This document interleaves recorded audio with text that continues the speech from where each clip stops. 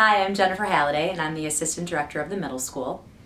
Insights Week is an opportunity for our middle school students, grades 6 through 8, to explore a course that they're very passionate about in a, in a different sort of timing. They return from winter break um, to a week of an intensive course that they choose, and the courses are mixed, grades 6, 7, and 8, and the topics range from anything from black leadership in Cleveland to uh, learning the history and the importance and significance of bread making to um, ornithology. So the students really get to choose something that they have a passion and an interest in. Hey, Hawken, how you doing? Good morning, There's a class here today called Taking Care of Business, Yeah. a rock band finance simulation where you guys are going to be a Hawken band. You guys are going to go on tour. You're going to have to make some very important financial decisions as you cruise forward. I'm Tim Desmond. I'm the instructional technologist for the Hawken School. My Insights course is called Why Does Cleveland Rock? And students come down and spend three days at the Rock Hall and they do research in the exhibits on an artist or a genre or an era of music of interest.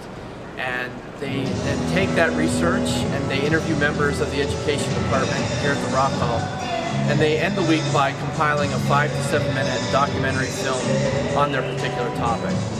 So they get some hands-on, real-world experience in going to an exhibit and doing research, and also creating a video project, which is uh, more daunting than it appears to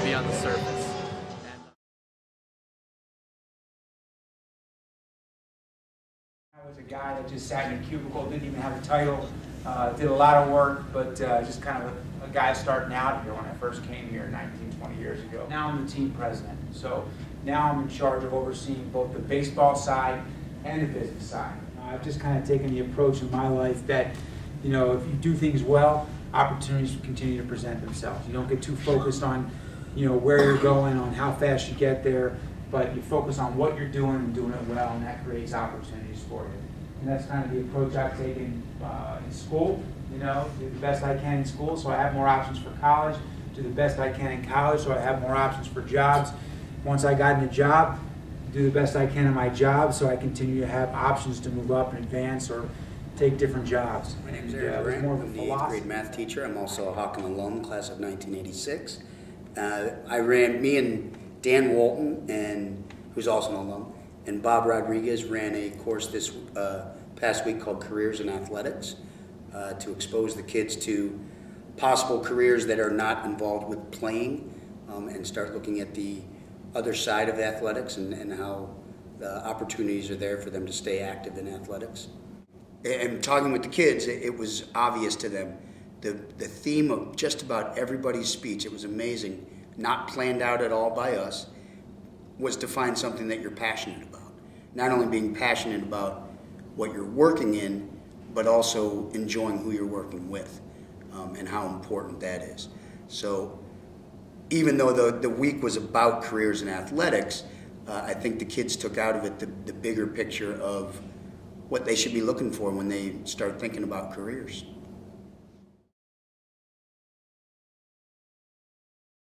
Hello, I'm Matthew Young. I teach seventh grade at Hawken School, and um, this is our group of Winter's Lens um, students participating in our Insights class, which is called Winter's Lens: A Snapshot of the Survivalists. And what we do, I co-teach this with Aaron Thomas, um, the art teacher in our middle school. And we spend the week exploring how plants and animals survive and cope with winter, and then we document that using um, aesthetically using digital cameras. This is Lake Erie. We've come here on our last morning um, to shoot pictures. We started off the week uh, with a um, kind of a crash course in digital photography, how to make our cameras work, what the different buttons do. This afternoon we go home and we're gonna um, start working on uh, selecting which our best photos are. Kids are probably taking between four and 800 pictures over the week. They'll come tomorrow with uh, their kind of 25 to 30 best prints and just their favorite for a critique with a local photographer. And we'll do a group critique. And then the students will spend the afternoon um, putting together a portfolio, which we'll have printed either using Snapfish or Shutterfly. And they'll get a photographic portfolio book as a result of the week. So that's what we're doing. I'm Lynn Petkovic. I teach sixth grade history slash humanities in the middle school. This week, William Hunt and I have been teaching A Crust Above, which is our insight course on the history, math, and science of bread baking. Let's see, they've learned a lot about history. They've had to do their own project on a certain aspect of the history of bread. They've learned the math of professional baker's yields, which is percentage of all ingredients in a ratio to the amount of flour used. So that's incredible. Yeah, they've learned how to how to bake a loaf of bread from scratch um, using baker's formulas. And this morning they did it all on their own. It's absolutely amazing the progress and how far they've come. They really can. That's the thing is they could go home right now and look at almost any recipe, and they could make it, and it would be something they would understand why they were doing each step. They would understand how to do it, and I think the neatest thing is that they all want to do it by hand. Represents kind of the best of, of best practice education for middle school students. It's it, it's an opportunity for faculty to collaborate, to come together across disciplines, to work with colleagues they don't typically work with, to do co-planning, um, to really think about their own passions and their own feelings about education, and um, you know it represents an opportunity for faculty to truly come together and be the creators of their own units and insights began with a brainstorming um, opportunity in a faculty meeting.